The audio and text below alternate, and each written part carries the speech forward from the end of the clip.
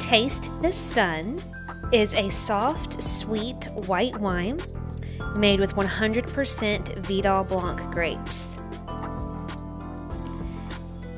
It is styled to be very fruit forward, meant to serve chilled, an easy drinker that is meant to drink with friends.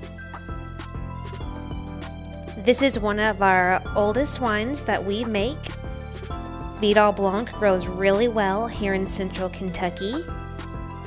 And people get a kick out of this bottle because it's Taste the Sun, yet there is a moon on the bottle.